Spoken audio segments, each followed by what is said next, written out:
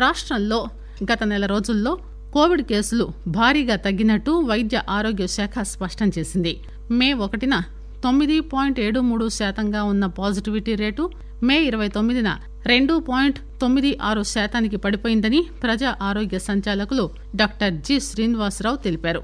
ఇంటింటి సర్వే ప్రత్యేక Covid OP ద్వారా కరోనా బాధితులకు ఆరు లక్షల యాభై ఏడు వేల కిట్లు పంపిణీ చేసినట్టు వెల్లడించారు. మే మాసంలో మొత్తంగా ఇరవై లక్షల నలభై నాలుగు వేల రెండు వందల పన్నెండు నమూనాలు పరీక్షించగా లక్షా ముప్పై వేల ఆరు వందల అరవై ఆరు పాజిటివ్ రేట్లు నిర్ధారణ అయ్యాయి.